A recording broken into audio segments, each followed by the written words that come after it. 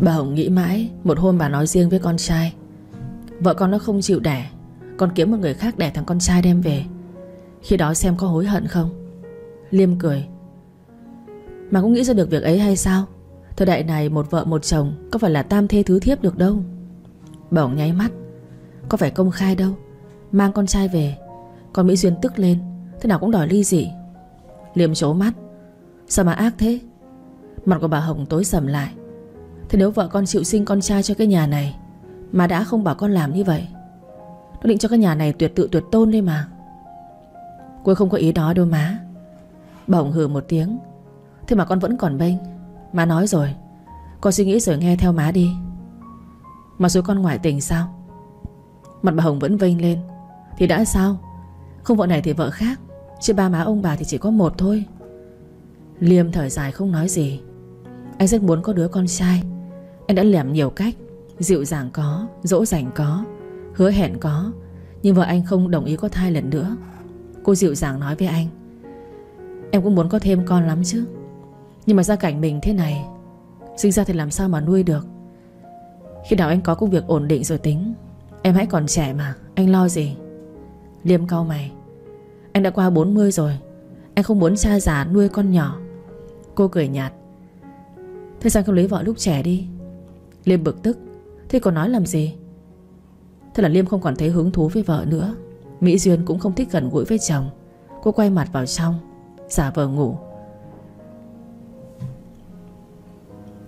Mặc dù lời má nói cũng có lý, Nhưng đâu phải dễ dàng Tìm ra một người phụ nữ chịu sinh con cho anh. Người đàng hoàng, Ai người ta ngu dại mà làm chuyện đó. Anh mỉm cười xóa đi những ý nghĩ xuất hiện trong đầu.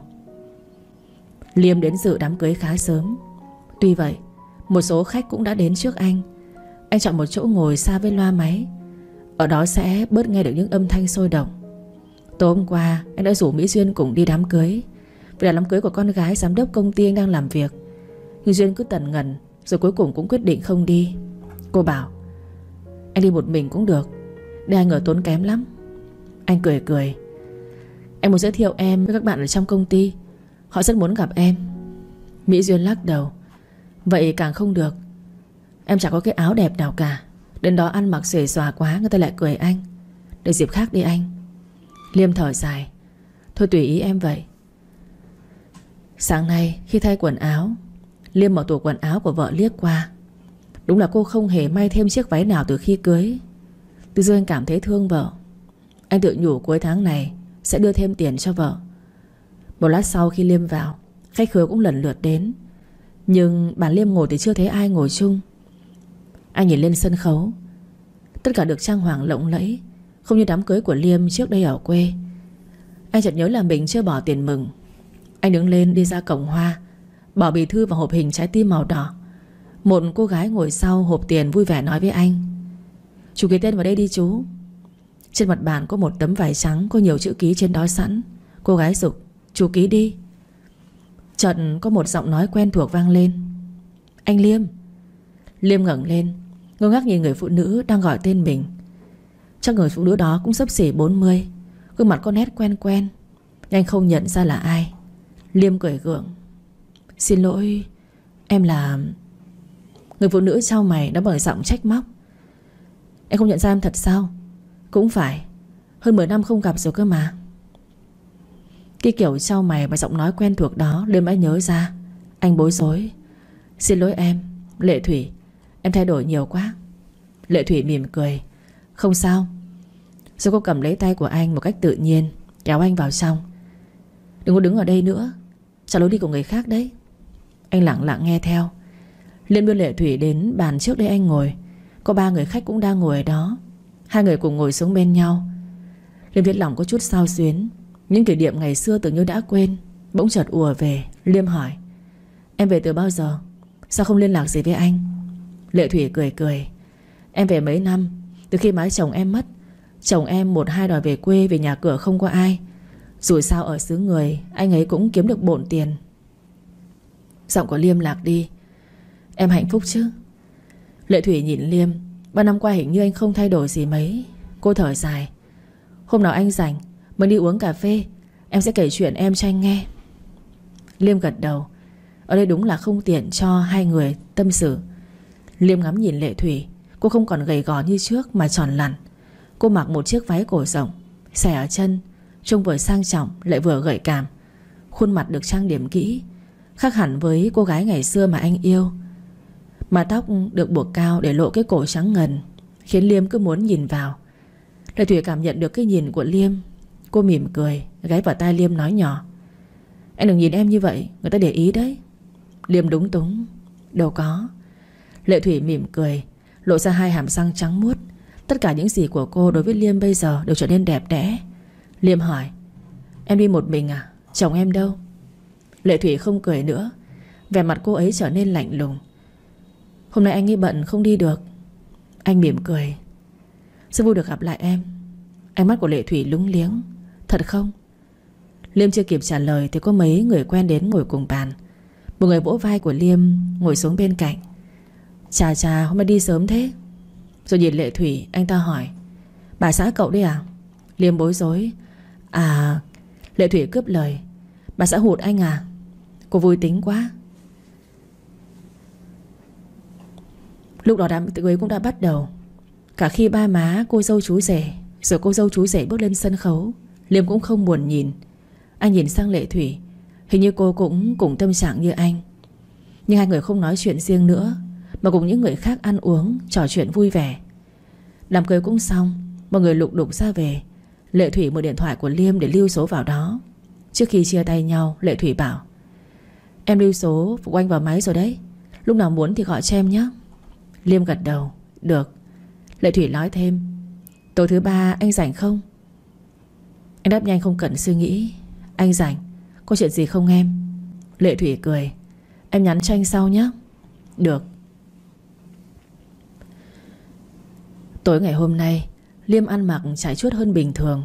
Áo phông xanh, quần jean xanh Trông trẻ trung hơn bình thường. Mỹ Duyên nhìn anh ngạc nhiên hỏi. Anh đi đâu mà diện thế? Liêm vuốt tóc. Có người bạn hẹn anh đi có việc. Cô thắc mắc. Không hẹn ban ngày mà hẹn ban tối thế này. Liêm nhếch miệng. Em biết gì về chuyện làm ăn mà nói. Anh nhớ đừng có uống bia rượu nhé. Cô em họ bắt gặp ấy Lọ phạt cho đấy. Liêm lào bảo, Em biết rồi, nhắc mãi, Anh đi đây. Dạ. Nói xong, Cô quay lại với công việc của mình. Hơn năm nay, cô xin nhận việc về là làm thêm Để cải thiện thêm thu nhập. Hai bàn tay của cô thoăn thoát Trên những sợi lạt tre. Liêm lặng lặng dắt xe ra để tránh tiếng động. Bà San mà thấy anh đi thế nào cũng hỏi này hỏi nọ. Đến cổng Anh mới ngồi lên xe máy rồi rồ đi. Thật thế Có tiếng bà San vọng theo. Đi đâu vậy Liêm? Liêm giả vợ không nghe thấy mà đi thẳng. Đến quán cà phê Hà Vàng. Liêm cho xe bước vào cổng Quay mặt xe ra đường. Sang chậm rãi đi vào bên trong. Anh đưa mắt nhìn quanh. Thầm mong lệ Thủy đã đến. Chờ một nhân viên phục vụ đến gần Liêm Lễ phép hỏi. Anh có phải là anh Liêm không ạ? Liêm hơi ngạc nhiên. Tôi là Liêm, có việc gì không? Cậu nhân viên nhã nhặn. Anh đi theo em. Bạn đang đợi anh ở bên trong. Liêm gật đầu. Thế Lệ Thủy đang ngồi ở đó. Thấy Liêm, cô đứng lên vẫy tay, rồi ngồi xuống. Hôm nay cô mặc chiếc váy bó sát, Tăng vẻ gợi cảm Qua những đường cong lộ ra. Cậu nhân viên đến bên cạnh bàn của Lệ Thủy, cúi đầu. Em mang cà phê và nước chanh dây sữa chua ra nhé. Lệ Thủy gật đầu. Cảm ơn em. Liêm ngồi ghế đối diện với Lệ Thủy. Ánh mắt của anh chạm vào ánh mắt đầy đam mê của người yêu cũ.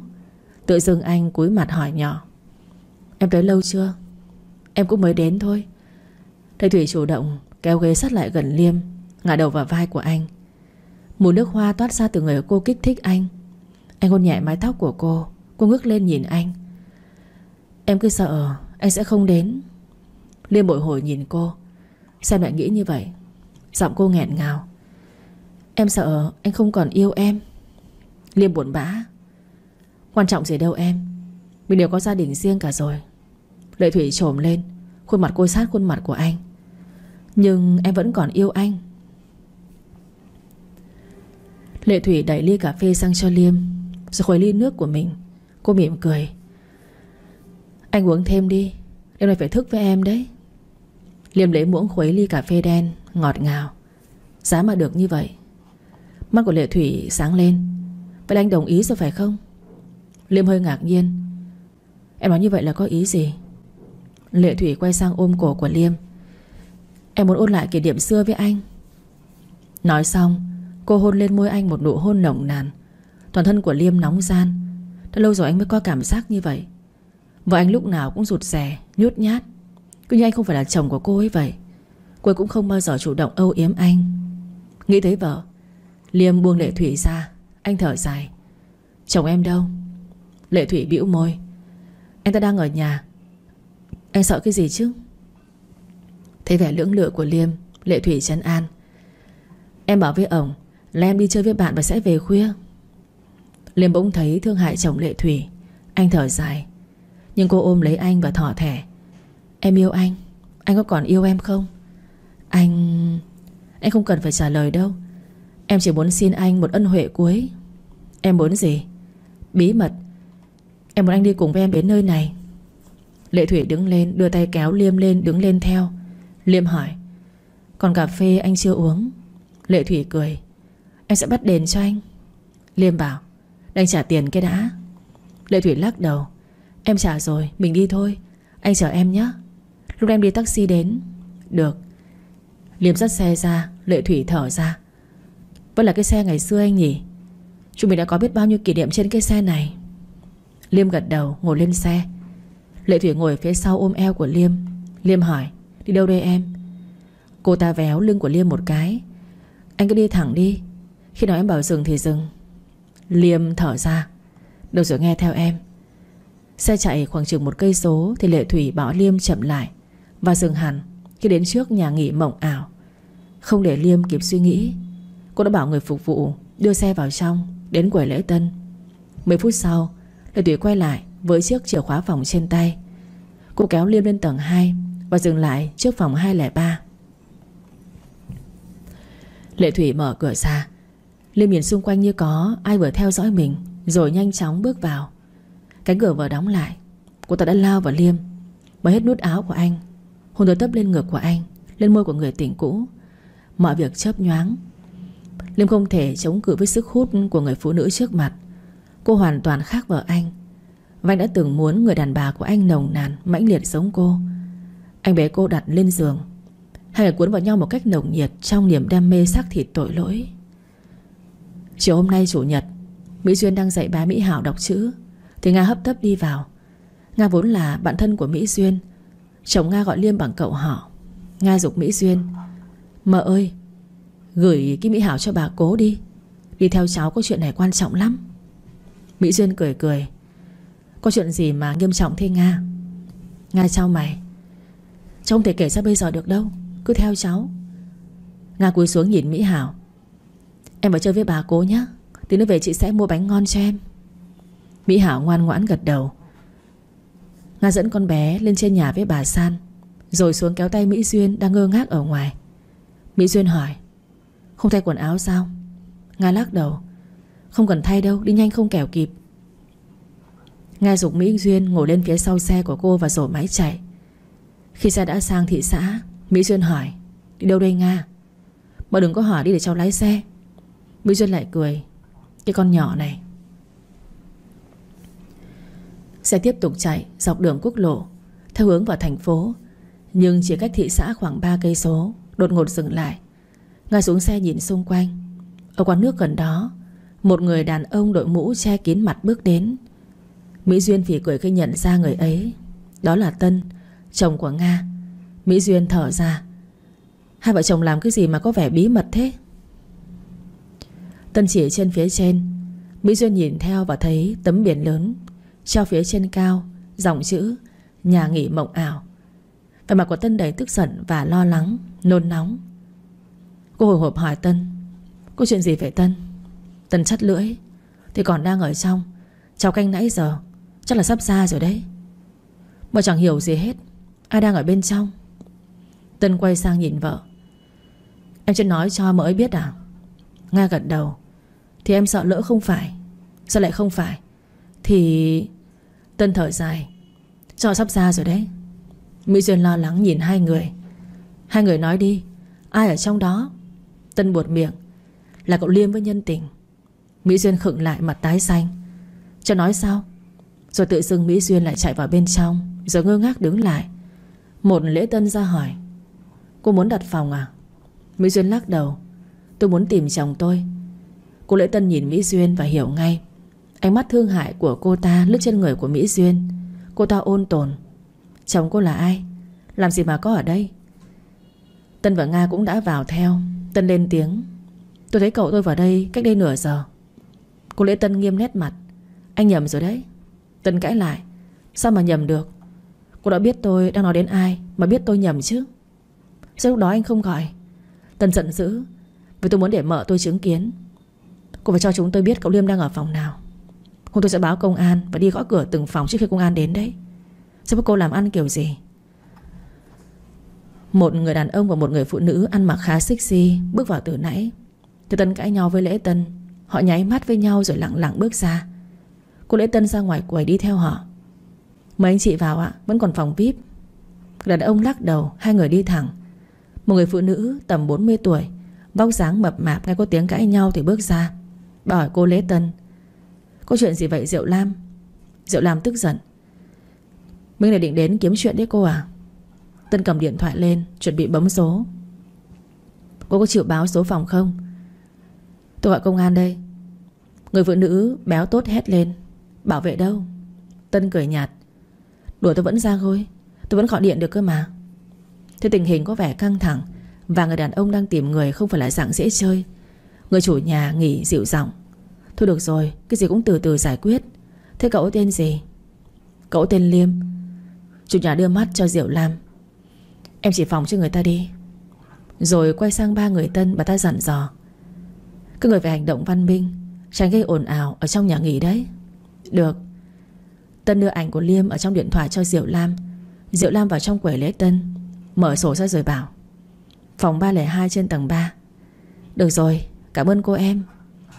Tân Nga cùng Mỹ Duyên cùng đến cầu thang lên trên. Đi lên chưa đến tầng 2 Mỹ Duyên nhăn mặt đứng lại, Nga lo lắng. Mợ sao thế? Hay là mợ cứ đứng đây? Hai vợ chồng cháu lên được rồi. Mỹ Duyên gượng cười. Mợ không sao đâu. Hai người cứ đi trước. Mợ sẽ theo sau. Cô đứng lại nghỉ. Tân quay lưng lại nói nhỏ. Thì đến nơi, mợ phải bình tĩnh đi nhé Cháu lên trước đây. Mỹ Duyên gật đầu, không nói gì. Hai tay nắm chặt lại. Nga định dừng lại đợi Mỹ Duyên, Nhưng cô lại bảo. Nga lên trước với Tân đi. Ngã ngại nhìn Duyên, rồi cũng gật đầu. Đến phòng 302 Cửa đối diện cai cầu thang. Tân đứng lại hít một hơi sâu. Khi Nga đến nơi, Tân gõ cửa. Hai người nín thở chờ đợi. Có giọng cào nhỏ từ trong phòng. Hai người nhận ra ngay là tiếng của Liêm. Ai ngoài đó vậy? Tân bịt mũi lại rồi nói. Là phục vụ đây. Có một giọng nữ bên trong nũng nịu. Em có gọi gì đâu? Anh gọi gì à? Liêm nói vọng ra. Tôi có gọi gì đâu nào? Tân lên tiếng. Anh chị quên rồi sao? Anh chị có đặt hàng em mới mang lên chứ? Anh chị ra nhận nhé Để cho em còn sang phòng khác. Nga ghé tay vào cửa. Cô lại nghe giọng người con gái nói. Ra nhận đi anh. Không thể cứ đứng ở trước cửa đấy, Phiền chết đi được. Tân nhìn xuống. Còn khoảng mấy bậc cầu thang nữa là Mỹ Duyên đã lên tới nơi. Nhưng không hiểu nghĩ sao, Cô vẫn đứng yên. Nga vẫy tay. Lên đây mợ. Mỹ Duyên lắc đầu. Ra không, ra hiệu không lên nữa. Khi tới giây phút cuối cùng này, Cô sợ phải chứng kiến Cảnh chồng phản bội một cách trần trụi trước mắt. Tân đành phải sơ tay gõ cửa. Bên trong, Giọng của Liêm bực bội. Ra đây. Cánh cửa hé mở, Để cái đầu đàn ông ló ra. Đúng là Liêm. Dù đang ở bên dưới, Bây giờ cũng nhận ra được vẻ mặt hoảng hốt của chồng. Liêm cũng nhận ra vợ chồng Tân đang đứng ở ngoài. Anh định khép cửa lại nhưng Tân đã nhanh tay kéo ra. Liêm chỉ mặc độc một chiếc quần lót. Anh vội vơ chiếc áo choàng lên ghế mặc vào. Trên giường, Một người phụ nữ không mảnh vải che thân Đang nằm quay mặt ra ngoài. Thấy vợ chồng Tân, Cô kéo tấm khăn trải giường quấn vào người. Tân nói giết qua kẽ răng. Cậu thật là khốn nạn. Liêm tức giận nói với Tân, Ta cho tôi lại tới đây, Là còn dẫn thêm vợ nữa. Cháu muốn gì? Tân nhìn Liêm với vẻ chán ngán. Cậu đối xử với mợ Mỹ Duyên như vậy mà được sao? Tôi đã can ngăn cậu mấy lần, cậu không nghe. Tôi phải dùng cách này. Hoặc may cậu mới tỉnh ngộ. Liêm bĩu môi. Tôi thách cháu nói với vợ tôi đấy. Xem có tin tôi hay là tin cháu. Tân cười gằn.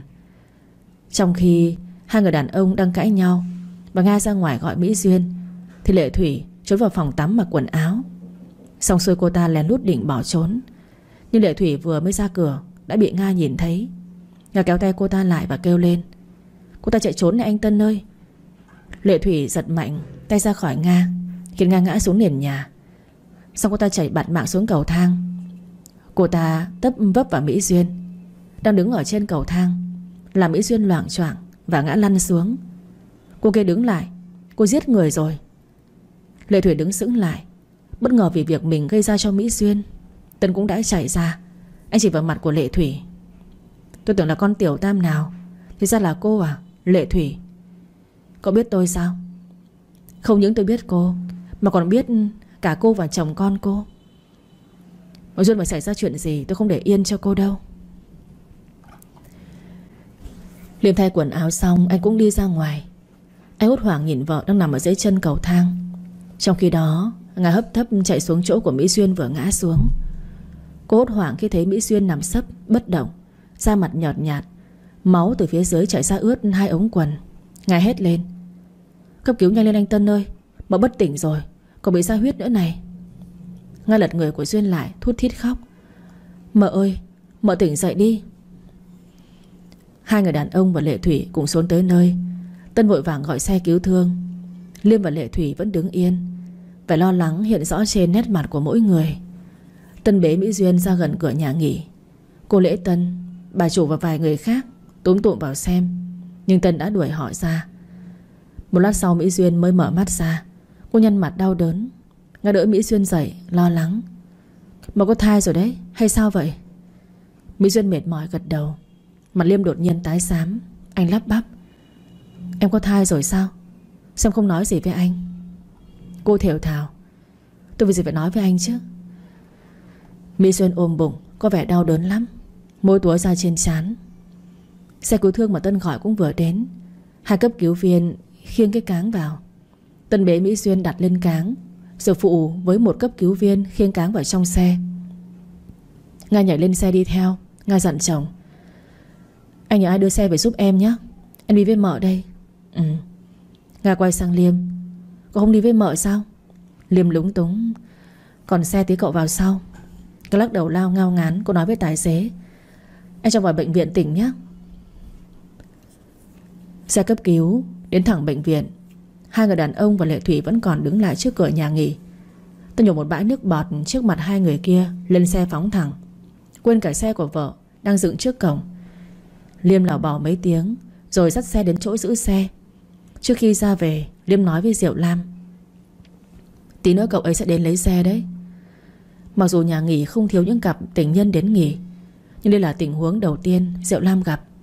Cô nhìn Liêm với chút thâm châm biếm. Giả vờ hỏi, Là cậu nào về anh? Liêm nhận ra điều đó, Anh không có tâm trạng để phản ứng lại. Anh chậm rãi nói, Cái cậu có vợ trên xe cấp cứu ấy. Được. Sau khi chọn Lệ Thủy về quán cà phê, Là nơi cô gửi xe, Liêm không đến bệnh viện mà đến nhà Kim Ngân. Anh đành phải kể chuyện Mỹ Duyên đang nằm ở bệnh viện, Nhưng không nói rõ lý do. Và nhờ em gái chăm sóc Kim Ngân nói, Thế má đang ở cùng với mợ ấy sao? Nghiêm lắc đầu, Là Nga vợ thằng Tân đang ở cùng với cô ấy. Kim Ngân tròn mắt, Má? Hoặc là má mợ ấy đâu? Mà để một người họ sao chăm sóc như vậy? Em sợ người ta cười cho à? Liêm chép miệng, Thế anh mới nhờ em nè. Kim Ngân thở dài, Bây giờ chồng em với mấy đứa đi chơi hết, Em gửi thằng út cho ai đây? Mà sao không vào chăm sóc mợ ấy đi? Liêm nói dối. Hai vợ chồng cãi nhau Nên cô ấy không muốn gặp anh. Cô nhìn anh trai với vẻ dò xét. Thật không đấy? Hay là mợ ấy nghe tin anh ngoại tình? Liêm thốt lên. Em nói cái gì vậy? Muốn đổ dầu vào lửa hay sao? Có giúp anh hay không? Kim Ngân suy nghĩ một lúc rồi bảo. Thôi được, Đem gửi cháu sang nhà cô nó rồi đi. Nhưng mà mợ ấy đau gì, Nằm ở bệnh viện nào? Giọng Liêm thấp xuống. Hình như là bị băng huyết Nằm ở bệnh viện tỉnh. Kim Ngân hử một tiếng. Anh thật là Vợ đau mà cứ bảo hình như Mà có khi nào vợ ấy lại có thai không nhỉ? Ừ Hình như cô ấy có thai đấy. Cái gì cũng hình như vậy. Mà Duyên làm vợ của anh á, Đúng là phải khổ rồi. Liêm bực bội. Tôi là anh cô đấy. Mà sao cô lại gọi chị dâu là mợ? Kim Ngân bẽn lẽn. Tại vì em quen thôi. Liêm xuống giọng. Vậy thì anh nhờ cô vào sớm sớm. Xem bây giờ chị dâu cô sao rồi. Thôi được rồi. Gửi cháu xong em sẽ đi. Anh cũng nên vào viện với chị ấy đi. Ừ. Anh về nhà gửi Mỹ Hảo cho bà nội cho anh đi. Được. Kim Ngân mang con sang nhà cô nó ở bên cạnh gửi con, Rồi vội vàng đến bệnh viện. Chẳng khó khăn gì cũng đã tìm được khoa sản Và phòng Mỹ Duyên. Kim Ngân bước vào, Thấy Mỹ Duyên đang nằm quay mặt vào tường. Trên đầu trong lủng lẳng chai dịch truyền. Nga ngồi phía cuối giường. Kim Ngân bước vội đến giường Mỹ Duyên, hỏi Nga. Một Duyên thế nào rồi hả Nga? Nga nghẹn ngào. Mới bị sảy thai rồi. Bác sĩ mới cho mỡ ấy ra đây nằm thôi. Kim Ngân tái mặt. Ba má cô mấy năm nay vẫn chờ mong cô đứa cháu nối dõi. Khó khăn lắm bây giờ Mỹ Duyên mới mang thai, Thế mà lại bị sảy. Cô bảng hoàng đứng yên, không ngồi xuống. Cả ngáo tay của Kim Ngân. Dì ngồi xuống đi. Biết Kim Ngân đến thăm nhưng Mỹ Duyên vẫn nằm yên, không quay lại. Ngân nói bằng giọng xót xa. Sao lại ra nông nỗi này? Nga thở dài. Nếu vợ chồng cháu không nhiều chuyện ấy Thì có lẽ đứa bé vẫn còn. Kim Ngân ngạc nhiên. Thế là sao? Nga lắc đầu. Dì về nhà hỏi cậu Liêm đi, Cháu không thể kể đâu, Cũng không muốn kể cho dì. Hai người không nói gì nữa, Ngồi im lặng bên nhau. Khi sai dịch chuyển sắp hết, Nga đi gọi cô nữ hộ sinh trực. Lúc đó Kim Ngân mới ôm qua ngang bụng của Duyên. Nó nhỏ vào tay chị sâu. Chị Duyên à Mong chị đừng buồn. Con mất thì đau lòng là đúng. Nhưng chị còn trẻ, Sau này vẫn có thể sinh con mà. Lần đầu tiên Kim Ngân gọi Mỹ Duyên bằng chị. Mỹ Duyên quay sang nhìn Kim Ngân, Giọng sáo hoảnh Tôi sẽ không xin cho anh cô thêm một đứa con nào nữa đâu. Sao chị lại nói như vậy? Giọng Mỹ Duyên để căm thù. Người đàn bà của anh đã giết chết con của tôi. Tôi không đội trời chung với họ. Nga và cô nữ hội sinh đã trở ra. Cô nữ hội sinh vừa thay cho Mỹ Duyên thêm chai dịch khác, Vừa bảo Nga, Tí nữa chị ra căng tin mua cho cô ấy tôi cháo. Dạ Để chuẩn xong đã nhé Dạ. Cô nữ hội sinh đi rồi. Kim Ngân cũng đứng lên. Chỉ ngơi cho khỏe đi, Đừng suy nghĩ gì hết. Bây giờ em phải về. Ngày mai sắp xếp em sẽ sang. Rồi cô nhìn Nga ái ngại. Để gì về nhờ ai sang thay cho? Tạm thời Nga ở lại nhé. Chồng của cháu biết chuyện rồi đấy. Sẽ lo cho bé thỏ. Cháu sẽ ở lại với mợ. Dì cứ về đi. Kim ngân vừa vào lấy xe Thì gặp Liêm ở đó. Liêm hỏi, Duyên sao rồi em? Kim ngân buồn bã, Có lẽ lúc này Anh đừng có vào thăm chị ấy. Anh vào sợ chị ấy sẽ càng tức giận hơn đấy. Một lần xa còn hơn ba lần đẻ. Thương chị ấy quá. Liêm vào đầu đau khổ. Cô bị sảy thai rồi sao? Kim Ngân gật đầu thở dài. Sao đã lông lỗi này hả anh? Rồi cô nhìn quanh. Ở đây không tiện. Hay mình sẽ quán cà phê gần đây đi anh. Em mới biết mọi chuyện rõ ràng. Có thế mới giúp được chứ. Cảm ơn em. Sực nhớ Kim Ngân bảo anh. Đợi tí anh. Để em gọi cho bác Tâm xem có thể vào chăm sóc chị sâu được không? Chứ để Nga lại đây Cũng không tiện. Tự dưng Liêm nổi nóng. Kệ cô ta, Vì hai vợ chồng thằng Tân mà anh mất đứa con đấy. Anh còn chưa tính sổ với chúng nó, Là may rồi. Kinh Minh đã lờ mở đoán ra mọi chuyện.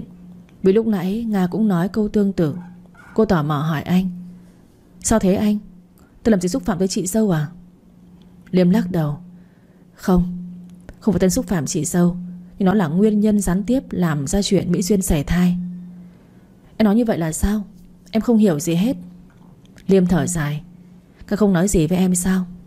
Không, Các không nói gì cả. Đừng quán cà phê đi. Anh sẽ kể mọi chuyện cho em nghe. Em gọi cho bác Tâm đã. Kim Ngân cầm điện thoại ra gọi điện cho bà Tâm. Cô chỉ nói cho bà Tâm là Mỹ Duyên bị sảy thai. Bên kia có tiếng ho lắng, dồn dập. Em nó đang ở đâu hả cô? Nó có sao không? Nó mới khoe được có ta tuần trước với tôi. Nó vui mừng biết mấy. Sao lại xảy thai được chứ? Kim Ngân phải trấn an bà Tâm. Hai anh em đến quán cà phê gần bệnh viện. Ngân chọn một bàn ở trong góc, Hơi cách xa những bàn bên ngoài. Kim Ngân gọi một cốc trà tắc cho mình Và một ly cà phê đen cho anh. Cô nói, Nào, hãy kể mọi chuyện cho em nghe đi. Anh đừng giấu giếm gì. Đừng để em phải nghe lại từ người khác. Liêm cầm ly cà phê lên, Uống một ngụm rồi chậm rãi nói Thôi được, Em là người mà anh tin tưởng. Em biết điều đó phải không? Những gì mà anh nói, em được kể lại với ba má nhé. Em sẽ nghe theo anh. Liêm im lặng một lát, Bắt đầu thổ lộ chuyện với Kim Ngân. Liêm hối hận vì mọi chuyện xảy ra Và nói với em gái rằng, Anh ta vẫn còn yêu thương vợ. Ngoại trừ chuyện chăn gối với vợ không được như ý, Thì Mỹ Duyên vẫn là người vợ mà anh cần. Liêm kể, Sau lần đầu đi nhà nghỉ Liêm và Lệ Thủy đều rất hài lòng. Liêm sợ chồng Lệ Thủy biết Nên anh đã định cắn dứt Cắt đứt. Nhưng Lệ Thủy đã gọi điện, Nhắn tin cho Liêm để tiếp tục cuộc tình vụng trộm. Lệ Thủy còn cho Liêm xem những tấm hình chụp từ máy quay lại, Những cuộc lạp tình của hai người. Để Liêm không có đường lui. Thế là hai người vẫn tiếp tục hẹn hò, Có khi cả vào ban ngày nữa. Họ thay đổi địa điểm Và những lần sau, Để mọi người không nhận ra, Lệ Thủy đeo khẩu trang kín mít, Sau mỗi lần làm tình Cô ta lại đưa cho Liêm một sấp tiền 500 ngàn. Lúc đầu Liêm tự ái không nhận. Anh bảo, Em làm như vậy, Anh có phải là trai bao đâu? Nhưng Lệ Thủy mỉm cười, Em không có gì ngoài tiền, Anh cứ nhận đi. Lại tiền của em cũng là tiền của anh cơ mà. Anh cứ mang một ít về cho vợ, Để cô ấy khỏi nghi ngờ. Rồi cô nhất quyết rúi tiền vào túi của Liêm, Không cho anh từ chối. Dần dần rồi Liêm cũng đã quen với chuyện đó. Đã mấy lần Liêm đã muốn dừng lại mối quan hệ với Lệ Thủy. Nhưng rồi không thể bỏ qua sự quyến rũ của cô ta, Mối tình tội lỗi của Liêm và Lệ Thủy Cũng không giấu được lâu. Mặc dù họ thường xuyên đổi chỗ, Nhưng số nhà nghỉ vùng này Quanh đi quẩn lại cũng không phải là nhiều. Cuối cùng cũng có người phát hiện ra, Trong đó có Tân là cháu họ xa Gọi Liêm bằng cậu. Hôm đó, Tân chở gạo đến bỏ mối gạo Cho một cửa hàng bán giải khát. Tân vô tình thấy Liêm khoát tay một người phụ nữ xinh đẹp Đi ra từ nhà nghỉ mộng ảo. Hai người cười nói rất thân mật. Ra tới cửa, Người phụ nữ ấy lấy khẩu trang, Che kín mặt, Rồi lên xe chở nhau đi. Tôi nhận ra đó là chiếc xe Dream Trung Quốc của Liêm. Không nghi ngờ gì nữa. Sau đó, Tân còn bắt gặp thêm hai lần. Tân cũng đã nhắn tin can ngăn, Nhưng Liêm nhất quyết không chịu nghe lời khuyên của Tân. Vợ Tân là Nga, Bạn thân của Mỹ Duyên. Nhất định khi Nga biết chuyện sẽ kể lại cho Mỹ Duyên. Từ ngày trở lại với tình cũ. Liêm bỏ hẳn việc ở công ty. Đi chơi thường xuyên với Lệ Thủy hơn. Cuộc đời anh đã trượt sốc không phanh, Nhưng anh mù quáng không nhận ra điều ấy. Anh mang tiền về cho vợ nhiều hơn Và anh lại ngây thơ vui mừng Bởi vì công việc của chồng đã tiến triển thuận lợi. Quan hệ vợ chồng cũng vì thế mà tốt hơn. Khi anh nói anh muốn có thêm đứa con, Thì Mỹ Duyên chỉ cười mà không còn phản đối như lúc trước. Thì sang mấy ngày trước Cô đã tự đi thám khám thai Và biết được đã mang thai hơn 2 tháng. Cô định sẽ báo tin cho anh, Nhưng lại lo như lần này là con gái, Nên chưa dám nói. Ai ngờ tay vạ ập đến, Anh đã bị mất đứa con thứ hai Mà gia đình hằng mong đợi. Khi nghe xong câu chuyện, Kim Ngân ngồi thử ra. Thì ra tất cả đã xảy ra hơn nửa năm, Bây giờ mới vỡ lẽ. Kim Ngân chỉ buột miệng. Sợ thế hả anh? Liêm lắc đầu buồn bã. Anh là kẻ có tội. Ngân thở dài. Anh chưa nói cho em biết Vì sao mà chị dâu lại bị sảy thai. Liêm lại cúi đầu. Kim Ngân nhìn anh. Tại anh với cô ta phải không? Liêm vẫn im lặng. Kim Ngân không chịu thôi. Anh nói đi chứ. Lúc chiều, Anh và Lệ Thủy Vào nhà nghỉ mộng ảo, Bị Tân nhìn thấy. Tân gọi Nga và Duyên đến bắt quả tang. Rồi sao nữa? Mỹ Lệ đứng ở cầu thang. Mỹ Duyên đứng ở cầu thang, Bị Lệ Thủy chạy trốn xô phải, Lăn xuống cầu thang. Thế thì còn gì là cháu tôi nữa? Liêm quắc mắt. Thế nếu vợ chồng Tân mà không đưa Mỹ Duyên đến, Thì đâu đến nỗi đâu. Kim Ngân nhìn anh ngao ngán. Anh lại còn ngụy biện hay sao? Có phải thằng Tân hay vợ nó xô chị dâu đâu? Em bị người đàn bà kia hấp mất hồn rồi. Chính cô ta mới là người xô chị dâu cơ mà. Giọng của Liêm yếu ớt. Nhưng Thủy có cố ý đâu. Kim Ngân hử một tiếng. Nếu cô ta cố ý Thì chị dâu cũng không còn mạng đâu. Em nói thật nhá, Anh là anh trai của em Em không thấy chán nữa là. Người khác bỏ anh lâu rồi, Chị dâu là chị ấy còn hiền chán đấy. Liêm lào bảo, Anh thì sao chứ?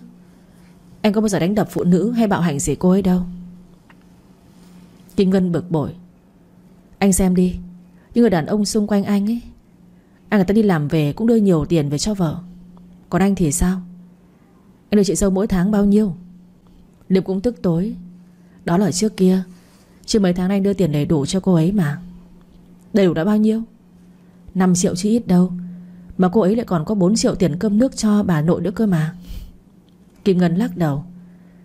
Trước đây em biết là anh đưa cho chị dâu mỗi tháng có mấy trăm ngàn. Sau này mới đưa 5 triệu. Là tiền cô ta trả cho anh phải không? Liêm lúng túng gật đầu. Em hiểu sai rồi. Không phải Lệ Thủy trả cho anh, Mà là Kim Ngân ngắt lời của anh tức giận. Chồng cô ta yếu sinh lý, Nên cô ta trả cho anh tiền làm việc ấy. Còn gì? Em thật là không ngờ.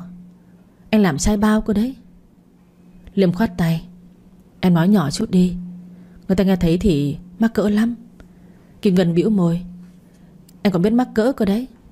Em này, Em sao? Anh với Lệ Thủy yêu nhau. Kim Ngân cười khẩy. Yêu nhau sao? Thế thì về mà ly dị với chị dâu đi. Cô ta ly dị với chồng đi. Ngày xưa ba má không chấp nhận cô ta làm dâu cũng đúng thôi. Cái thứ lẳng lơ gì đâu. Liêm nhíu mày. Em đừng có nói người ta như thế. Kim Ngân đứng lên. Không nói chuyện với anh nữa. Bao giờ anh tỉnh lại rồi tìm em? Cô ta là một người không ra gì. Anh sẽ thấy em nói đúng cho mà xem. Trước khi đi, cô cười mỉa mai. Mà nè, Anh gửi tiền nước giúp em nhé. Ba ngày sau, Mỹ Duyên xin ra viện Rồi bác sĩ đã khuyên ngăn là cô nên ở lại theo dõi Bà Tâm thuê một chiếc taxi đến đón con gái về nhà. Cô vẫn quyết định về nhà bà nội Chứ không về nhà má như ý bà Tâm. Bà Tâm thở dài nhìn con gái. Con xanh sao thế này, Không có người chăm sóc thì phải làm sao? Mỹ Hảo cứ gửi cho bà cố hoặc bà nội đi. Con phải lo cho cái thân của con chứ. Một lần xảy bằng mấy lần sinh đấy. Mỹ Duyên nhìn má. Má đừng lo, Con sẽ nghỉ ngơi mà. Bà đành phải nghe theo con. Khi hai má con về tới nhà, Mỹ Hảo vẫn còn học ở trường mầm non chưa về. Chỉ có bà sao là nghe thấy tiếng xe, Chậm rãi bước ra. Thấy Mỹ Duyên, bà đi nhanh đến mừng rỡ. Cháu khỏe rồi à? Sao về sớm thế? Mỹ Duyên cười gượng. Cháu không sao đâu bà. Cả ba người cùng vào nhà. Bà san kéo cháu dâu ngồi ở giường rồi bảo, Cháu nghỉ ngơi đi Từ lúc cháu bị bệnh á, Má chồng cháu ra đây lo chuyện cơm nước cho bà với chồng cháu. Dạ. Có lẽ má chồng cháu chưa biết cháu về đâu nhỉ? Mà sao má chồng cháu chưa đến? Ngày qua tầm này đã đến rồi. Dạ. Cháu nằm xuống nghỉ ngơi đi, Đừng suy nghĩ gì cả. Bà San ngắm nhìn cháu dâu rồi suýt xoa. Cháu gầy quá, Mà xanh sao nữa. Sau này phải cố gắng ăn uống bồi dưỡng đi nhé rồi bà quay sang bà Tâm. Chị cũng chú ý chăm sóc cháu với. Con dâu của tôi vô tâm lắm. Lẽ chị cũng biết rồi phải không? Bà Tâm nhìn bà San với vẻ biết ơn. Dạ thưa bà. Vừa lúc đó, bà Hồng bước vào cửa. Bà cười nhạt. Cháu ơi, đông đủ nhỉ? Cô dâu tôi về rồi cơ à? Dạ. Chị Xu cũng đến sao? Dạ chị. Tay bà Hồng đang cầm cái giỏ đựng đồ ăn. Bà để cái giỏ xuống sàn nhà. Quay sang nói với Mỹ Duyên. Con về thì nấu ăn cho bà nội nhé. Bà San nghiêm giọng. Chị nói sao thế? Nó còn yếu như vậy cơ mà. Má nhịn đói chứ không bắt cháu dâu nấu đâu. Bà Hồng giấm rằng Người ta cho về là khỏe rồi. Bà phải bệnh tật gì đâu. Là sảy thai thôi mà, Có gì mà to tát. Bà Tâm choáng váng khi nghe người ta nói câu của bà xui. Bà lắp bắp, Sao chị có thể nói như vậy được chứ? Nghe nói chị đã từng bỏ một cháu. Chị đau đớn như thế nào cơ mà? Bổng bĩu môi. Tôi khác nó khác. Sao sẽ làm sao được? Bà Tâm không kìm được cơn giận. Thì nó không phải là con người hay sao? Mà chị có biết vì sao nó xảy thai không? Bà Hồng cười khẩy. Có bầu mà còn ham chơi, Để trượt chân ngã nên xảy thai chứ còn gì. Bà Tâm hử một tiếng. Ai bảo với chị vậy? Bà Hồng xa mặt. Cần sẽ nói chứ, tôi biết thừa. Thì là không hiểu vì sao tôi lại cưới nó, Làm đứa con dâu. Để cho đầu thì là con gái, Bây giờ lại sảy thai. Cái số tôi đúng là không có phúc. Bà Tâm ngao ngán lắc đầu. Chị nghĩ như vậy. Hèn chi con tôi nằm viện mấy ngày Chị không thèm vào thăm. Con trai chị về để chị hỏi con trai của chị đi. Xem vì sao mà chị mất cháu nhé Rồi bà Tâm quay sang con gái. Con về nhà với má đi. Lúc nào khỏe thì tính sau. Bà Hồng cao giọng. Cô Duyên là dâu nhà tôi. Lấy chồng thì phải theo chồng. Sao lại về nhà chị? Bà Tâm cười nhạt. Bây giờ con Duyên còn đau yếu. Tôi đưa nó về để chăm sóc, Để chị đỡ cực thôi. Mỹ Duyên ngồi dậy quay sang bà Tâm. Thôi má đừng lo cho con. Má cứ về nhà đi à Con không sao đâu. Bà Hồng nói ngay. Thấy chưa? Nó bảo là không sao mà. Chị làm với tôi ác lắm ấy. Bà San ái ngại. Chị Tâm về nhé Chị thông cảm. Nếu má thằng Liêm có gì không phải thì chị bỏ qua cho. Tính nó ảo ảo như vậy thôi, Cứ không có để bụng gì đâu. Bồng còn định nói câu gì đó, Nhưng gặp cái trường mắt của má chồng, Bà đành im lặng. Bà Tâm thở dài, Đành chào bà San rồi nói với con gái. Má về đây, con phải giữ gìn nhé, Mai má lại vào. Mỹ Duyên lắc đầu. Thôi má ơi, Con sẽ gọi điện cho má sau. Bà Tâm rưng rưng nước mắt, Cầm cái nón ra về. Bà vừa ra đến cổng.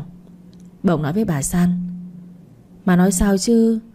Con chưa nhận kiện của chú Cường rồi. Nó phải lo cơm nước cho má chứ. Bà San nổi giận. Chẳng có một chút tình người nào cả. Chị lúc nào cũng chỉ chỉ nghĩ đến tiền thôi. Người ta nói rồi, Một lần sai bằng ba lần đẻ. Lúc chị sởi thai hồi trước Anh bắt chị phải làm việc không? Bà Hồng cúi đầu. Chưa nhận tiền rồi còn gì? Nó cũng thấy đấy sao? Còn nếu nó mệt thì giao tiền lại cho con. Bà San thở dài. Không có tiền của thằng Cường đưa thì chị tôi nhịn đói chắc. Bà ổng kêu lên. Con không có ý đó. Bà San nhìn con dâu. Để nấu cơm cho tôi và cháu dâu ăn đi. Lúc nào con dâu chị khỏe lại thì thôi. Bông đành phải gật đầu. Vâng. Mỹ Duyên vào bếp có nói với má của chồng. Tiền ăn của bà Thường là chú Cường sẽ đưa vào giữa tháng. Bây giờ mới hơn tuần. Mà chịu khó thêm mấy ngày nữa. Chú sẽ chuyển khoản xa con sẽ đưa cho má. Bác sĩ dặn con nghỉ ngơi thêm ít bữa, Đừng làm việc nặng. Là bác sĩ dặn thôi, Chứ không phải là không nấu ăn đâu. Nấu ăn cũng là việc nặng hay sao? Nhưng mà con hãy còn mệt lắm ạ. Mà liếc con sâu một cái. Thôi được rồi, tôi sẽ phục vụ bà tháng này. Không thì người ta cười vào mặt của tôi là cay nghiệt. Thằng này cô nấu ăn mấy ngày, Nói đi tôi sẽ trả cho. Mỹ Duyên cười nhạt. Có bao nhiêu đâu ạ Mà cứ giữ hết đi. Bà có vẻ nghi ngại. Là cô nói đi nhé Dạ.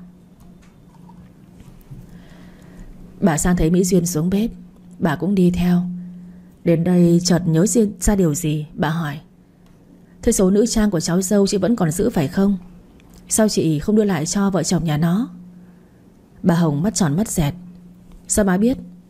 Con danh kể cho má nghe sao? Bà San bĩu môi. Chẳng cần ai nói tôi cũng biết. Lập tức bà Hồng cao giọng giải thích. Con chỉ có ý tốt giữ gìn cho nó thôi mà. Bà San trợn mắt. Vậy chứ ông trả cho nó sao? Bà Hồng vừa lăm xăm đi xuống bếp, Vừa nói. Không má ơi, Lỡ mất thì làm sao?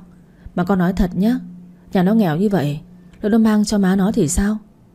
Ở cho con là an toàn nhất, Thôi con nấu ăn đây. Mỹ Duyên nghe rõ, Từng lời má chồng nói. Nhưng bây giờ cô lại không cảm cảm thấy tức nữa. Cô không muốn chỉ vì hai cây vàng, Mà phải tiếp tục chôn vùi đời mình Cho nhà bà Hồng nữa.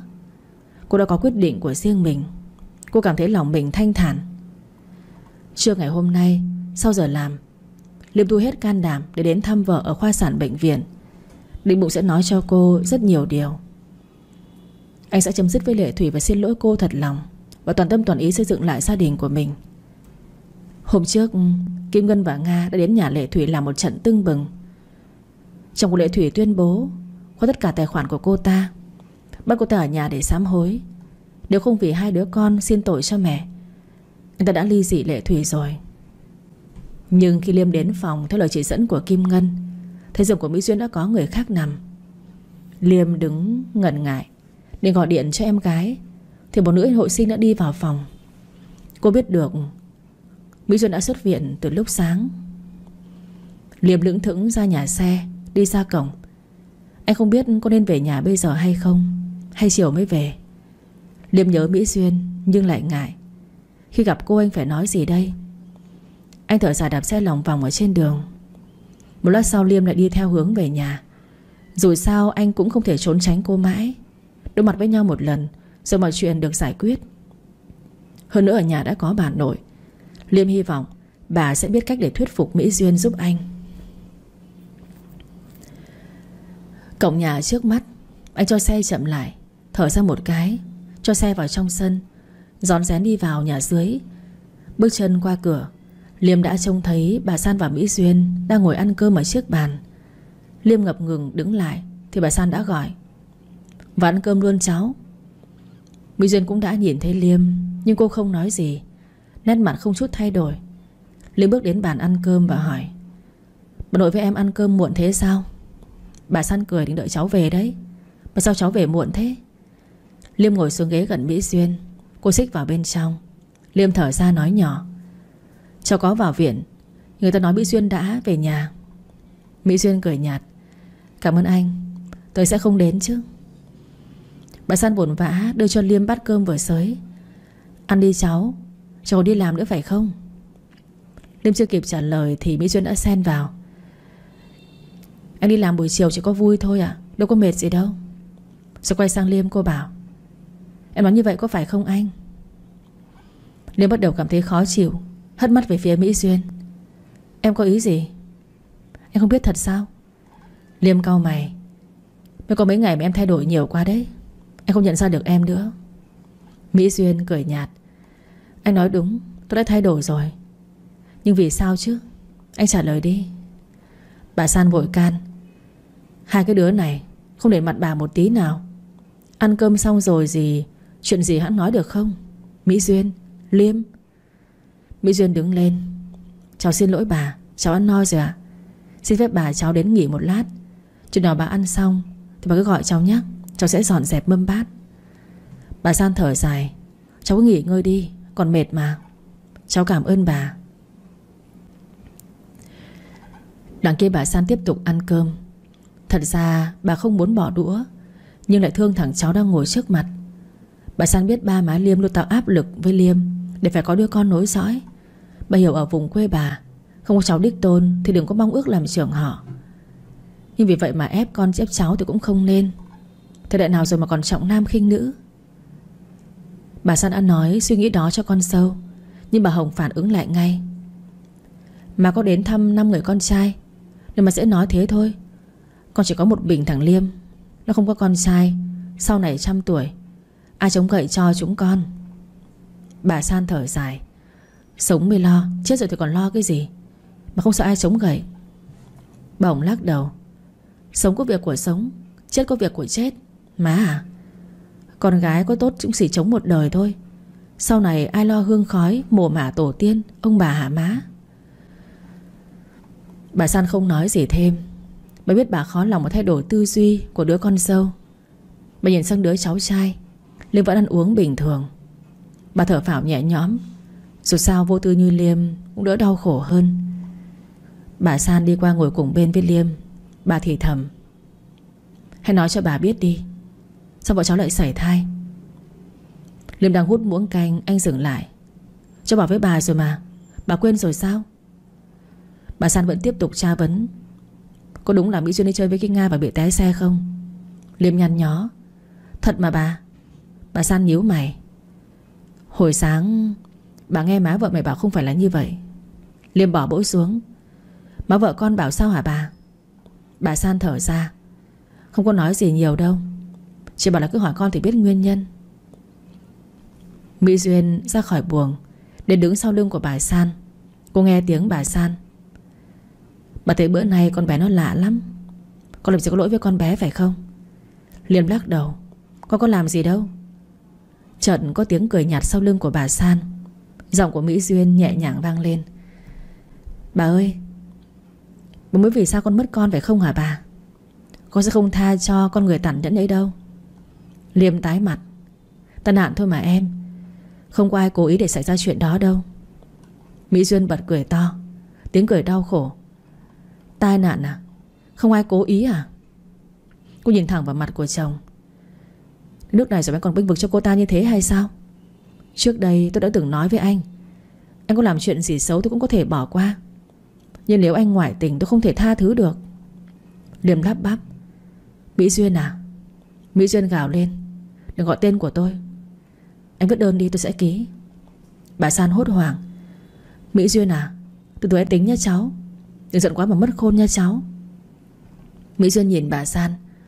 Cháu biết là bà thương cháu, Nhưng cháu không thể chịu đựng được nữa bà ơi.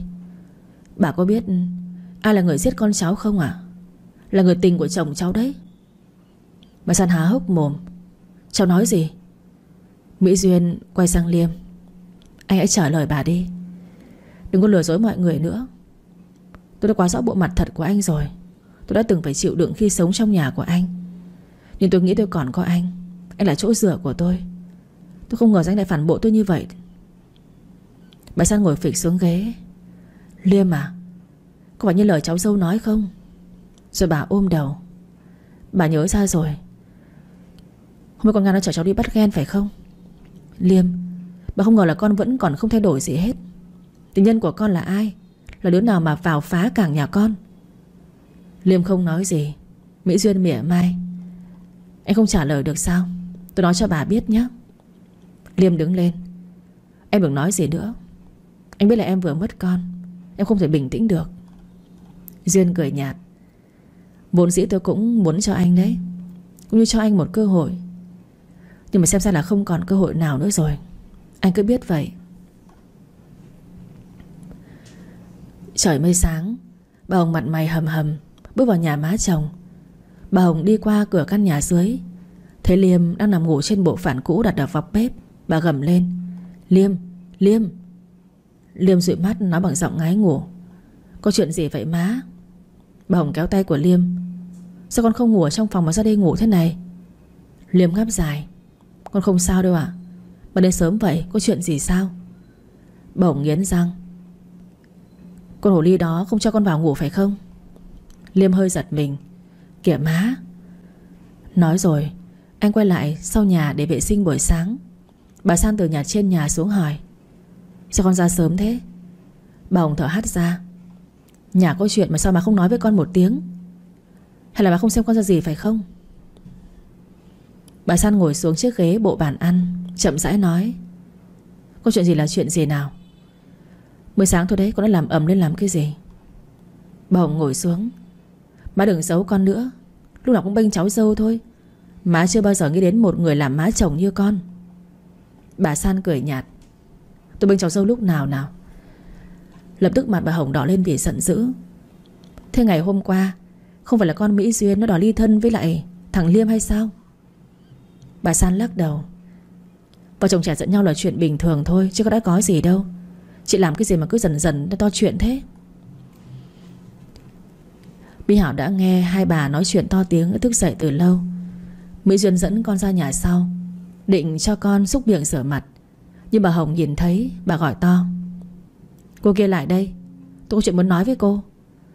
Mỹ Duyên quay đầu lại. Để con một tí được không ạ? Con cho cháu làm vệ sinh cá nhân rồi con sẽ lên ngay. Mỹ Duyên dẫn Mỹ Hảo xuống bếp. Cô nghe giọng của bà Hồng vọng xuống, Nhưng cô vẫn bình thản cho con đánh răng rửa mặt. Chứ chảy chưa chật rồi mà còn vẫn nằm ngủ sao? Thật là cái đồ lười chảy thây. Bà San nhỏ giọng, Tôi xin chị đấy. Cháu nó mới xảy xong, Để nó nghỉ ngơi đi, Mới nhanh lại sức chứ. Bà Hồng hứ một tiếng, Đó Chính vì má đấy nó mới không xem ai ra gì. Bà San nhìn con sâu, Chứ nói sao thế? Đó là một đứa ngoan hiền hiếu thuận. Bà Hồng bĩu môi không nói gì. Một lát sau Mỹ Duyên dẫn con gái lên nhà trên.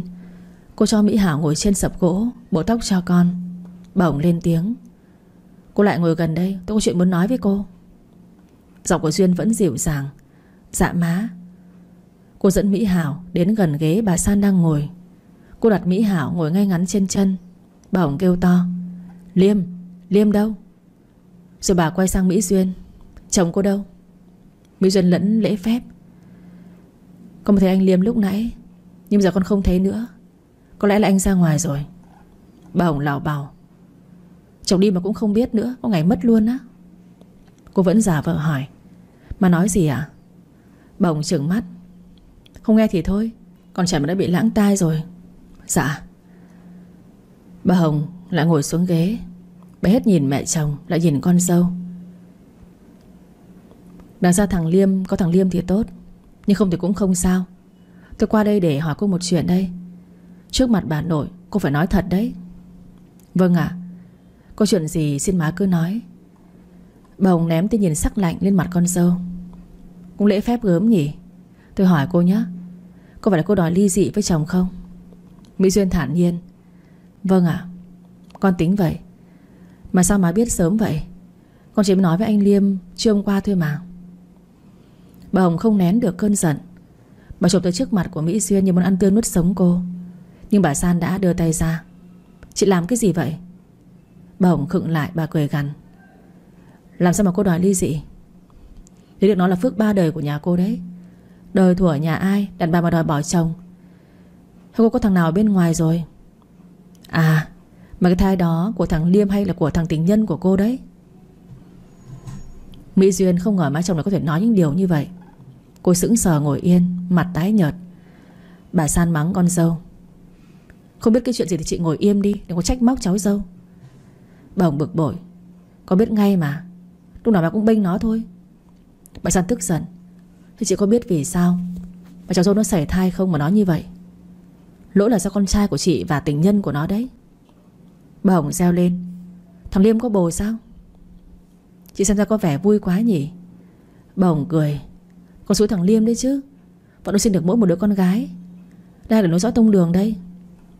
Mỹ Duyên lắp bắp. Má, Sao má làm như vậy? Con hết chịu nổi má rồi. Bà Hồng chỉ tay về phía Mỹ Duyên Không biết vì sao thật à? Chị mới sinh được một đứa con gái đã sợ cực khổ, Không chịu sinh thêm. Tôi phải nghĩ tới tương lai dòng tộc chứ. Mỹ Duyên nghẹn ngào. Con dù mà vẫn còn trẻ, Vẫn còn khả năng sinh đẻ được. Sao má có thể tuyệt tình như vậy à con đã phạm tội gì chứ? Đúng ý má rồi đấy. Nhân tình của chồng con Đã xô ngã con ở cầu thang. Con mới mất đứa bé đây ạ. À? Bà Hồng tròn mắt. Cô nói sao? Cô đọc con bé hay sao? Nó là đứa nào vậy? Giọng của Mỹ Duyên buồn bã. Xem ra má quan tâm đến người phụ nữ ấy hơn Cả đứa cháu đã mất của má. Bà Hồng thở hắt ra. Đứa bé cũng không còn nữa. Chắc chỉ là con trai đâu. Tôi tò mò muốn biết người phụ nữ nào Đã khiến con của tôi thích nào. Không được sao? Mỹ Duyên gật đầu. Được chứ ạ? Bà cũng biết cô ta đấy. Bà Hồng hồi hộp. Là ai vậy? Duyên cười nhạt. Cô ta là người yêu cũ của anh Liêm. Là người ngày xưa mang thai con anh Liêm.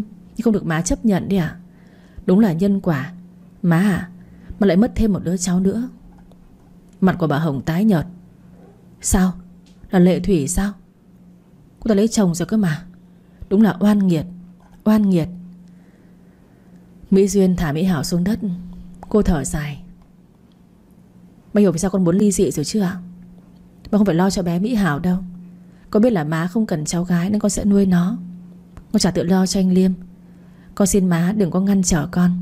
Nếu không đồng ý, Con ly dị, Thì nhà má sẽ bị tuyệt tử, tuyệt tôn đấy. Bỗng hét lên. Mày dám nguyền rủa nhà tao đấy sao? Tao sẽ bảo thằng Liêm không ký vào đơn ly hôn đi. Xem mà làm được cái gì nào? Trai năm thê bảy thiếp. Nó nhớ một lần thôi. Mày không chịu được thì cũng phải chịu. Mỹ Duyên nghiêm nét mặt. Con sẽ đơn phương ly hôn cũng được. Pháp luật bây giờ cho phép như vậy mà má. Bà Hồng lầm lộn. Cô dốc tâm như vậy phải không? Nói trước cho cô biết nhé Sau ly hôn cô sẽ không có một cách nào đâu. Và tôi vẫn còn giữ đây. Mỹ Duyên vẫn bình thản. Con biết rồi má. Má cứ giữ lấy phần ba má vào hàng Đảng nổi đã cho con. Riêng phần của ba má con và bà con bên ngoài, Hãy trả lại cho con. Bà Hồng vĩu môi. Cô đừng hòng Trừ khi Bà Hồng ngừng lại, Có lẽ xem Mỹ Duyên có nói gì không? Nhưng cô vẫn im lặng Bà bực bội nói tiếp. Chỉ khi cô không ly hôn, Ly dị gì hết. Chăm lo chồng con, tôi sẽ trả lại cho cô. Mỹ Duyên cười nhạt, Không nói gì. Sau khi bà Hồng bỏ về, Cô đưa con đến trường mầm non. Sau đó vào phòng lấy cái túi sách đã cũ, Mang theo thi về nhà chồng. Cô lấy hết quần áo của cô và Mỹ Hảo ra, Xếp lại cẩn thận. Bà San lặng lẽ nhìn cháu dâu. Bà không ngăn cản, Cũng không nói gì. Bà thương xót cho cháu dâu, Hiểu được tâm trạng của cháu. Ngày xưa bà cũng từng chịu cảnh Như cô cháu dâu vậy. Bà đau khổ biết bao, muốn tìm đến cái chết. May mà cuối cùng ông đã tỉnh ngộ lại Và quay về với bà.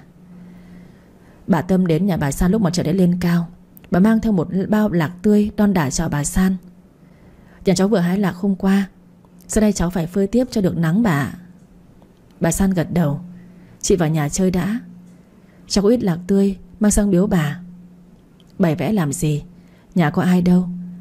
Bà Tâm cười cười. Còn có vợ chồng, có con Mỹ Duyên mà bà. Bà San thở xả nét mặt buồn man mác. Bà Tâm ngạc nhiên hỏi, Có chuyện gì sao? Chưa cho nói gì với chị sao? Vâng ạ.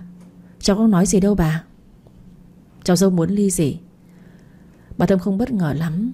Bà chỉ buồn buồn nói Con mới quyết định rồi sao? Cháu cũng thấy đáng tiếc lắm bà Chúng nó xem ra là không có duyên, Không có phận rồi. Bà cũng đừng trách cháu nó. Bà San nắm tay bà Tâm. Tôi cũng thấy tiếc lắm. Nhưng cũng đành vậy thôi. Cháu trai của tôi đã làm sai lầm không thể thứ tha. Vâng ạ. Cháu biết lâu nay Bà là người yêu thương cháu Mỹ Duyên rất nhiều. Bà San lắc đầu. Tôi vô dụng lắm Chị à Bà đừng nói như vậy. Hai người đang nói chuyện đến đó Thì ông Thành xăm xăm bước vào nhà. Ông giật mình khi thấy bà Tâm đang trò chuyện thân mật với má ông. Ông lên tiếng. Má, chị Xui cũng ở đây sao? Bà Tâm đứng lên. Chào anh. Bà San kéo bà ngồi xuống, bà hỏi con trai. Có chuyện gì mà sang đây? Ông Thành nheo mắt. Con muốn sang được chứ? Được, tôi hỏi vậy thôi. Mấy hôm nay tôi vẫn khỏe mạnh. Ông Thành tần ngần, Rồi vào đề. Con có chút việc muốn nói với má. Bà Tâm đứng lên. Bà và anh có chuyện riêng. Xin phép cho cháu xuống nhà dưới với cháu Mỹ Duyên. Nhưng mà ông Thành ngăn lại. Chị ngồi xuống đi. Có chị cũng biết có lẽ sẽ hay hơn đấy. Ông Thành e hẹp rồi nói tiếp. Sau đây vợ tôi cũng nói với tôi chuyện ly hôn của đứa con. Có lẽ chị cũng nghe đến rồi phải không? Bà Tâm thở ra. Vâng. Thế chị nghĩ thế nào? Ông Thành hỏi nhưng không đợi bà Tâm trả lời. Ông nói tiếp. Vợ chồng bà chị, Khi giận thì đánh, Khi quạnh thì thương. Ở với nhau lâu ngày cũng có chuyện. Dạ nhưng mà Cứ hết có chuyện đòi ly hôn được sao? Làm sao mà ăn đời kiếp với nhau được chứ? Chuyện gì còn có đó. Đừng có vội vàng hấp tấp, Khiến sau này hối hận thôi. Nói thật với chị, Ly hôn với con dâu rồi. Con trai của tôi khó khăn gì mà kiếm được vợ mới chứ? Sợ là con gái của chị Có con rồi, Không kiếm được chồng mới thôi. Bà Tâm trầm tĩnh nói, Tôi hiểu những gì anh nói, Nhưng mà cuộc đời của nó mà Đó là đứa làm chủ. Tôi chỉ còn biết tôn trọng quyết định của nó thôi. Ông Thành kêu lên, Thế là chị đồng tình với nó hay sao? Nó còn trẻ người non giả Ăn chưa no lo chưa tới, Suy nghĩ hạn hẹp. Mình làm ba làm má thì phải biết khuyên nhủ con cái chứ. Bà Tâm mỉa mai, Khuyên để con cái được hạnh phúc thì tôi khuyên, Chứ khuyên mà để cho con phải đau khổ Tôi không làm được. Ông Thành đứng lên, Tôi cứ tưởng chị là người hiểu chuyện, Tôi mới bỏ công bỏ sức ra nói cho chị hiểu. Biết con người chị thế này Tôi đã không thèm nói với chị thế này rồi. Bà San buộc phải can thiệp. Ba thằng Liêm Con đừng nóng giận như vậy. Con nên tìm hiểu nguyên nhân đi. Ông Thành ngồi xuống, Hất hàm nhìn về phía bà Tâm. Nói thiệt nhá Chỉ là xui gia của nhà tôi, Nhưng mà chị cũng chỉ hơn con tôi chưa được chục tuổi. Ly dị sẽ có lợi, Không có lợi cho mẹ con chị đâu. Tôi là tôi thương cháu nó. Không muốn cháu nó không có ba hoặc không có mẹ. Bà Tâm cười nhạt. Tôi biết là kinh nghiệm của tôi không bằng anh. Tôi biết con gái tụi tôi ly dị, Sẽ bất lợi. Anh có tiền nghĩ vì sao bất lợi Mà con tôi vẫn muốn ly hôn hay không? Ông Thành gật gù. Thì con dâu ghen bóng ghen gió mới đòi chia tay chứ gì? Thằng Liêm nó phong độ như vậy, Ra ngoài không có người ngưỡng mộ được sao? Liêm có chở bạn gái là đồng nghiệp đi đâu Cũng là chuyện thường tình thôi. Sao phải ghen? Nếu phải sảy thai như vậy Yến là vì con gái của tôi Nên mới sảy thai phải không? Đúng là con tôi nói dại, nói dột, Nên nó mới ghen tuông. Để cho người tình của chồng Xô ngã nó ở cầu thang và ngã mất con đấy. Ông Thành ngớ người ra. Chị nói cái gì đấy? Không phải con chị bị ngã xe Honda sao? Bà Tâm lắc đầu. Em cũng biết như vậy thôi sao? Đến nước này rồi tôi cũng không muốn giấu gì nữa. Tôi hỏi không phải nhá. Anh có biết cô Lệ Thủy không? Ông Thành giật mình. Lệ Thủy Bà Tâm thở dài. Đúng rồi đấy. Anh là bố của nó. Anh vẫn còn nhớ cổ. Người yêu ngày xưa của cậu, nhà Liêm phải không? Hai người bây giờ vẫn qua lại với nhau. Chính cổ là người đã xô Mỹ Duyên ngã xuống cầu thang. Khi con bé chứng kiến chồng ngoại tình đấy. Mà thôi tôi cũng không muốn nói chuyện dài dòng nữa. Tôi nói có về thôi. Chào anh. Chào bà. Ông Thành đựng mặt ra về kinh ngạc. Bà Tâm đứng lên thấy con gái lấp ló ở sau tấm màn. Bà đến gần rồi nói, Má về đây nhé Lúc nào chuẩn bị xong thì điện thoại cho má, Mà qua rước về. Dạ má. Bà Tâm song song bước ra ngoài. Đến cổng, Bà Tâm mới nhớ là còn chiếc xe đạp, Bà quay lại lấy xe. Khi bà vừa ngồi lên thì gặp bà Hồng đang đi vào. Nhưng bà Tâm giả lơ đi thẳng. Bỗng tức tối nhìn theo. Bà vào nhà, thấy ông Thành đang ngồi ngơ ngẩn với mẹ chồng và con sâu. Bà hỏi chồng, Sao rồi ông? Ông Thành bực bội. Thì chuẩn bị xem con trai bà bị ly hôn. Bà Hồng kêu lên. Vẫn sắt đá như vậy sao? Bà lại tuôn ra một chàng dài với con dâu.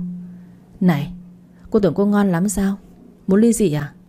Không có thằng nào, Thằng Liêm nhà tôi, cô có sống được không? Cô biết mấy tháng nay, Thằng Liêm mang tiền về cho cô là từ đâu không? Từ con tình nhân của nó đấy. Nó ra ngoài có con với người khác mà vẫn không quên cô là được rồi. Cô đòi hỏi cái gì nữa? Mỹ Duyên bước lui một bước tựa vào tường nhà. Khuôn mặt cô đã tái xanh, Bây giờ trắng nhợt, Cô lắp bắp. Má Má nói gì vậy? Ông Thành hét lên. Cái bà này, bà nói bậy bạ cái gì vậy? Bà nhìn con dâu với vẻ hạ giả Cô không hiểu sao? Tôi nói thằng Liêm mang tiền của con Lệ Thủy về cho cô tiêu xài đấy. Ông Thành tát vào mặt của vợ. Bà Hồng lưu loa. Xong đánh tôi. Bà đừng có nói nữa. Im cái mồm đi. Khi đó Liêm cũng đã về nhà. Anh chỉ kịp nghe những câu nói cuối cùng của ba má anh. Liêm hét to, Má!